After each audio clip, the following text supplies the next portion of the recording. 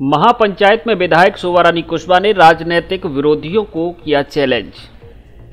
धौलपुर में आज रविवार को कुशवाहा समाज की राजनीतिक जागृति महापंचायत मेला ग्राउंड मचकुंड रोड धौलपुर में हुई, जिसमें हज़ारों की संख्या में आई कुशवाहा समाज के महिला पुरुषों ने धौलपुर विधायक शोभारानी कुशवाहा को 2023 के चुनाव के लिए अपना समर्थन दिया। कार्यक्रम की मुख्य अतिथि धौलपुर विधायक शोभारानी कुशवाहा ने समाज को आगे बढ़ने के लिए शिक्षा के साथ साथ समाज के हर घर का खुद के रोज़गार पर ज़ोर दिया और अपने समाज के विरोधियों पर हमला करते हुए उन्होंने चैलेंज किया कि अगर कोई कुशवाहा समाज का व्यक्ति धौलपुर ज़िले में कुशवाहा समाज का इक्यावन प्रतिशत समर्थन हासिल कर लेता है तो वे राजनीति छोड़ देंगे।